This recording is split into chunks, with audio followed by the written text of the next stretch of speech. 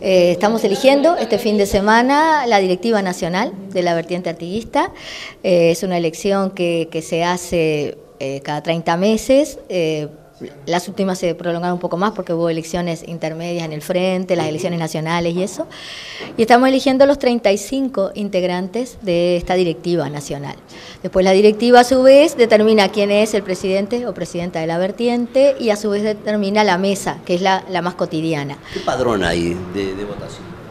Bueno, no tengo el, total, no lo tengo. Este, a nosotros este, nos mandan eh, por departamento.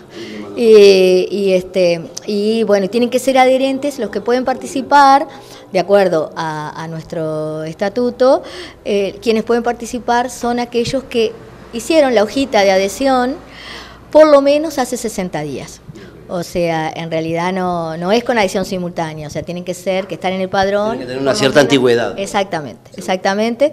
Y, y, bueno, y es una instancia importante, tuvimos nosotros eh, una instancia directiva nacional en Paysandú, en agosto, después en septiembre hubo un congreso donde aprobamos un documento también, este, que, se le hicieron muchísimos aportes, y va a haber una asamblea eh, en noviembre, y ahí como que la nueva directiva se va a instalar. Eh, los resultados no se van a conocer rápidamente.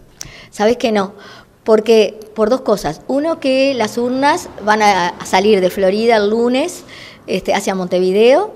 Así como vinieron cerradas, trancadas, van a ir, solamente se les va a depositar los votos de todos quienes voten. Y a su vez, eh, allá la comisión electoral tiene que hacer una validación, tiene que ver, también hubo votos por correspondencia,